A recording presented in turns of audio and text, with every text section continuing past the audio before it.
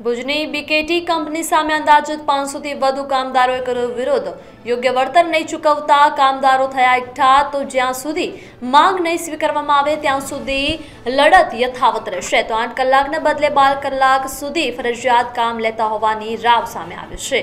તો આજે બીજા દિવસે પણ કામદારો કામથી રહ્યા હતા અણગા તો પદ્ધર વિસ્તારમાં અગ્રણી અને પૂર્વ તાલુકા પંચાયત સદસ્ય રાજેશ આહિર કામદારોની સાથે રહીને લડાઈ લડશે તેવું જણાવ્યું હતું. તો આજના દિવસે કંપની તરફથી કોઈ નિર્ણય લેવાશે કે નહીં તેવું કામદારોમાં બન્યો ગંભીર મુદ્દો.